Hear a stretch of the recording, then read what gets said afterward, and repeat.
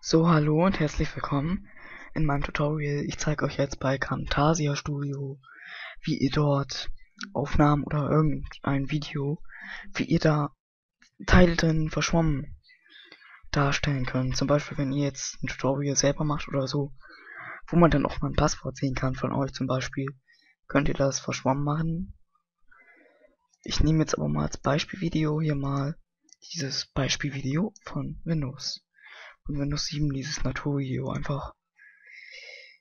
Das zieht man dann ja hier nochmal rein. Wisst ihr ja, denke ich mal. Und dann, na, kommt jetzt auch mal.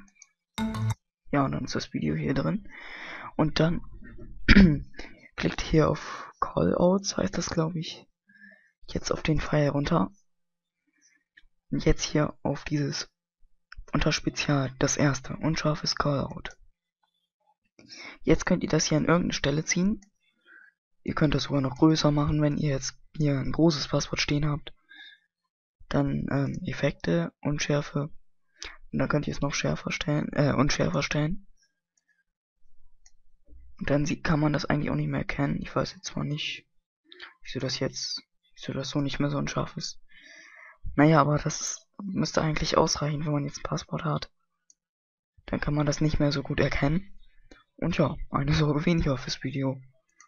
Habe ich auch jetzt eben erst rausgefunden. Wenn man den jetzt mal hier nimmt, ist es zum Beispiel wieder schärfer. Man kann die Unschärfe und Schärfe hier auch einstellen. Ja, dann sieht das so aus. Ja, genau. Ich habe das jetzt noch mal im Kurz abgespielt, weil das hier ein bisschen lag gerade. Weil ich mal meinen Lüfter einstauben muss. Naja, okay. Auf jeden Fall, ich hoffe, das hat euch gefallen, das Video. So geht das nämlich. Da könnt ihr jetzt, ja, dass ihr irgendwo eine Stelle machen, könnt ihr sogar zwei, glaube ich, auch reinmachen. Ich mache jetzt zum Beispiel hier nur noch einen. Hier so hin, ja. Und dann ist das natürlich auch unscharf, also das, ja. okay, dann vielen Dank fürs Anschauen.